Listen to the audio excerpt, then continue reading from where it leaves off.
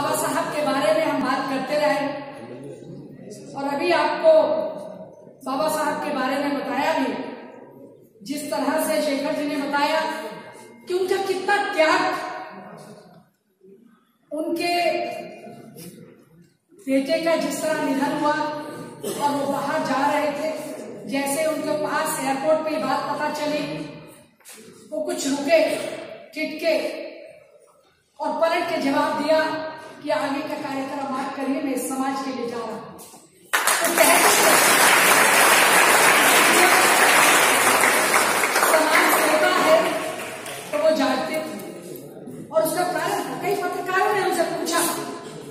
कि आप दिन रात इतनी मेहनत करते हैं, इतना काम करते हैं, एक ऐसे परिवार में जन्म लेके भी बार बार हम उस बात को नहीं कहना चाहेंगे क्योंकि जितने बुद्धिमान पूरे विश्व में उनके जो ज्ञान, बुद्धि, उनका त्याग सब जानते हैं। तो आप इतना मेहनत क्यों करते हैं? अनेकों लोग थे उस समय में।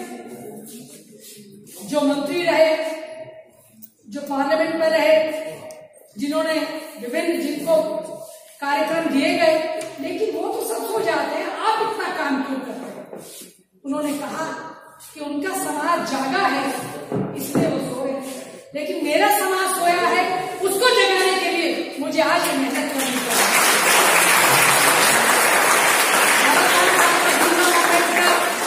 अमर के नारे लगे। बाबा साहब, आप जहाँ भी हैं फ़िज़िकल रूप में हमारे सामने नहीं है, लेकिन उनका एक एक आवाज़, उनका एक एक खून का कतरा हमारे समाज के लोगों में आज भी उनके लहू में बोल रहा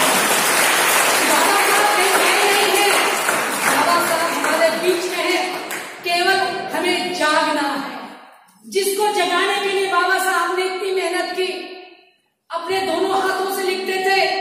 एक हाथ थक जाता था तो पंखे के साथ रस्सी बाँध के एक हाथ को रेस्ट देते थे, वो दूसरे हाथ से लिखना शुरू कर देते और जब ये लिखता था तो पीछे से बाबा साहब का त्याग रहा है किसके लिए?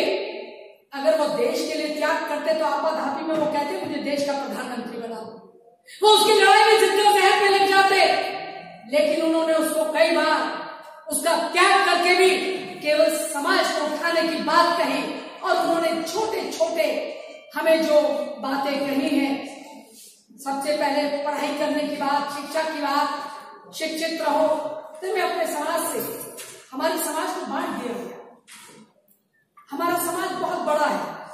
कई बार पार्लियामेंट में हम लोग कहते रहे कि समाज का उत्थान करना है।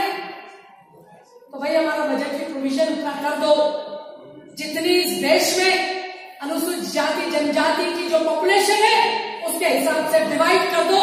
हमारे बजट का हिस्सा हम खुद अपने स्कूल खोलेंगे, हम खुद अपने कॉलेज खोलेंगे हम खुद अपने हम खुद अपनी डॉक्टरी बनाएँगे हम अपने बच्चों को रोज़गार देंगे हमें कहीं सिफारिश की ज़रूरत नहीं पड़ेगी और बाबा साहब के पीछे यही मकसद था कि हमारे लोग इतने शिक्षित बन जाए कि हमें दूसरे का सहारा ना लेना पड़े हमें देश में देश को चलाने की ताकत आप में है लेकिन आज हमें बांट दिया कई जातियों में उप जातियों में बांट रखा है और हम उस जातियों में बट के अपने आप को हम बोर्ड में लग गए कि इसको काट दो, इसे हटा दो, ये जाति ज़्यादा है, इसको कम कर दो।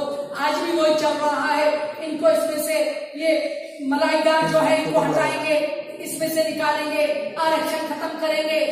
मैं कहती हूँ, आरक्षण खत्म करना है तो करो। लेकिन पहले आप एक व्यवस्था बना दो हमारे बच्चों को भी उन्हीं स्कूलों में शिक्षा मिले वो मुफ़्त एजुकेशन मिले जिसमें बड़े सरमाएदार का बच्चा पढ़ता है हमारे बच्चे को भी वही शिक्षा मिले वही कोचिंग मिले वही जगह मिले जिस तरह से हमारे बच्चों को हमें कोई इतराज नहीं है भी हमारा बच्चा अव्वल नंबर पे आएगा, ये मेरी गारंटी है। मैं समझती हूँ कि हम बहुत बड़े बड़े स्कूल इंडस्ट्री और फैक्ट्री तो नहीं बना पा रहे हैं, लेकिन हम अपने घरों में कुछ कुछ घरों में सौ सौ घरों के बीच में, अपनी जगहों पे, अपने बच्चों को, जैसा अपने घर पढ़ाने के लिए फ्री एजुकेशन दे रहे हैं या ट्यूशन दे रहे हैं, वो ज़रूरी है। हमारा बच्चा किसी गलत रास्ते पे ना पड़े। हमारा बच्चा फ़ीस और पैसे के पीछे कि उसे ट्यूशन पढ़ना हो, स्कूल में नहीं पढ़ाई आदमी समझ नहीं आ रहा हो तो वो कहे, जी, ट्यूशन का पैसा नहीं है, मैं पढ़ नहीं सकता तो हमारे समाज को उनको इकट्ठा करके पढ़ाना ज़रूरी है। मैं उन माओ को भी कहना चाहूँगी बहनों को भी कहना चाहूँगी, जो अपने घर के पढ़ी लिखी है, अपने घर के काम से निपट के तमाम चाहे पाँच बच्चों को पढ़ाओ। आप उन्हें पढ़ाओ मतलब शिक्षा, अगर किताबी शिक्षा ना दो तो उनको व्यवहारिक ज्ञान दो। उन्हें समझाओ कि हमारे रास्ते में कितनी कठिनाइयों से बाबा साहब या हमारे समाज ने आज इस ऊंचाई तक पहुँचे हैं।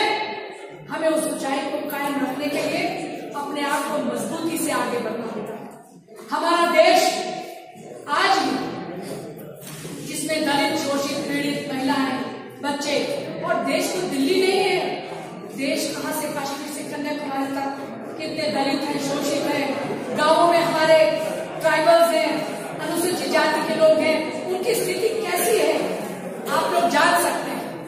लेकिन हमें अपने रास्तों पे चलने के लिए, हमें अपने रास्ते खुद बनाने के लिए, उसे रोशनमय करने के लिए कुछ मशाल जलानी पड़ेगी और वो मशाल कौन पकड़ेगा?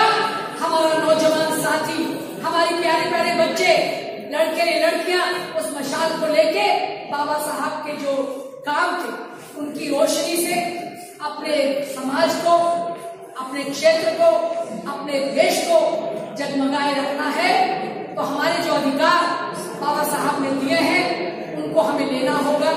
और जो आज के जो कार्यक्रम चल रहे हैं, कि इसको कैसे तोड़ना है, कैसे आरक्षण खत्म करना है, किस तरह से करना है, उसके लिए हमें एकजुट होके अपनी आवाज़ को बुलंद करना है कि जो संविधान में लिखा है उस संविधान को बदलने नहीं देंगे हमारी शक्ति हमारी ताकत जब वो पार्लियामेंट में बात करे या असेंबलीज में करे, या छोटे हमारे जो हमारी जो कॉर्पोरेशन है, उसमें हो, हमारी आवाज़ बुलंद होनी चाहिए। और वो बुलंद तभी होगी तब हमें अपना ध्यान होगा। हम संगठित रहेंगे, तब हम संघर्ष करके आगे बढ़ेंगे।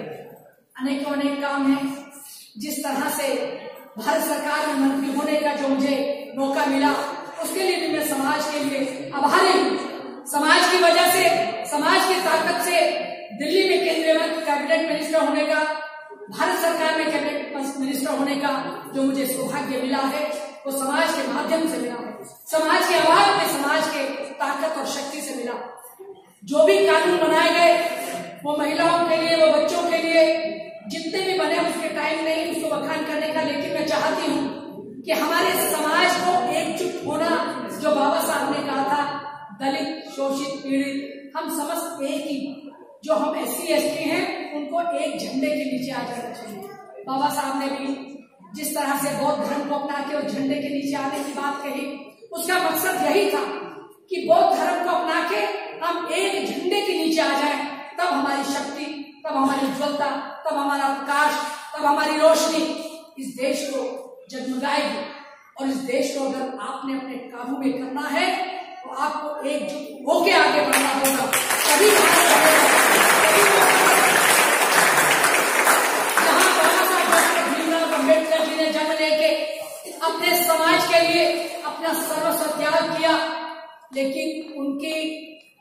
बुलंदियाँ उस समय में नहीं पहचान मुझे पता है, मेरे माता पिता ने बताया कि करोल बाग में जब खालसा कॉलेज जहाँ है, बाबा साहब ने कहा था तो चार, साढ़े चार हज़ार रुपए इकट्ठे करने थे, वो तक इकट्ठे नहीं हुए, तब उन्होंने वो जगह छोड़ के पचकुया रोड पे जो अंबेडकर भवन है, उसको उन्होंने अपने पैसे से खरीद के समाज को दिया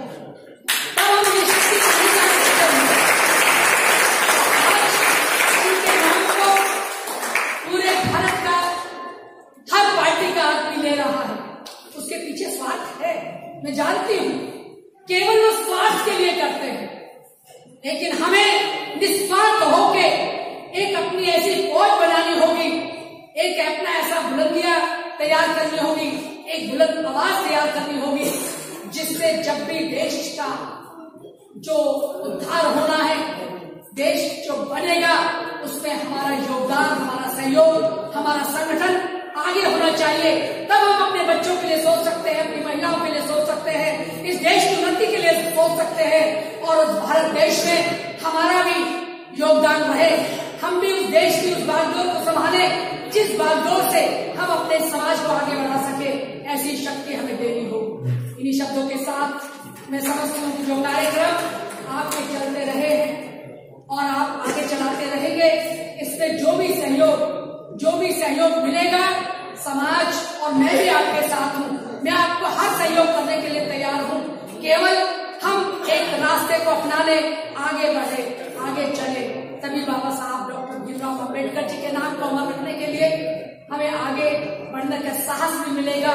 और इस देश में अनेक अनेक जो जातियाँ हैं प्रजातियाँ हैं, ये सरकारें हैं, वो जिस तरह से दबाने की कोशिश कर रही हैं, ये वो स्प्रिंग है। जितना दबाओगे उतना उछल के आकाश की ओर जाएगा, ऐसा मेरा समाज, ये दलित, ये शोषित, ये पीड़ित, कोई जाति, उपजाति नहीं है। बाबा साहब ने जो संविधान में लिखा है, उस झंडे के नीचे आके अपने काम करना है तो हमें अपने बजट को लेके अपने लिए अलग अलग जो हमारे काम है, जिसकी ज़रूरत है गाँवों गाँवों में शहरों शहरों में, आदिवासियों के इलाकों में, उन जगहों पे हम काम आगे बढ़ सकते हैं। यही हमारा मकसद है, यही हमारा मूल उद्देश्य है और यही बाबा साहब डॉक्टर अंबेडकर सोचते थे। अगर इनकी आत्मा हमारे बीच में जब देख रहेगी तो वो भी खुश होंगे कि मेरे जिस समाज को मैं जिस कारवा को छोड़ के आया था, उस कारवा को डूबने नहीं दिया, उस कारवा को आगे बढ़ाया और कह दिया, इस कारवा में जो चलना चाहते वो चले, जो नहीं चलना चाहते हो कम से कम उसको खींचे, नहीं खींचे, वो बैठ जाए, इस कारवा को आगे बढ़ाएँगे और देश में के साथ मशाल को जलाएँगे जिस मशाल की लो पूरे विश्व में जो गूंज रही है अमेरिका हो या जो भी ये देश है, उसमें और उज्ज्वलता से वो मशाल रोशन नहीं करेगी। और भारत का नाम विश्व में सबसे ऊपर के अक्षरों में लिखा जाएगा। ये भारत अंबेडकर का भारत है। ये भारत, बाबा साहब ने जो संविधान लिखा था, उसके अधिकारों का भारत है। इसको कोई तोड़ नहीं सकता, कोई मरोड़ नहीं सकता। यदि किसी ने ऐसी हिम्मत की तो समाज आगे आएगा और आगे आकर गलत चीज़ों को रोक के सही रास्ता なれは